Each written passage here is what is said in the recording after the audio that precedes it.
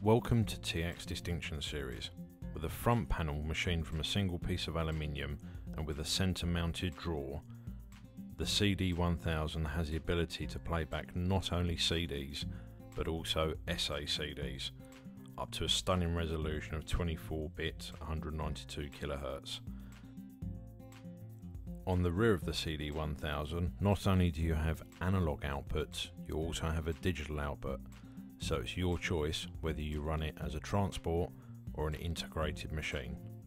Also supplied is a slimline remote control. The CD1000 sets itself apart from the pack. Not only that, it's a perfect match for the A1000 amplifier.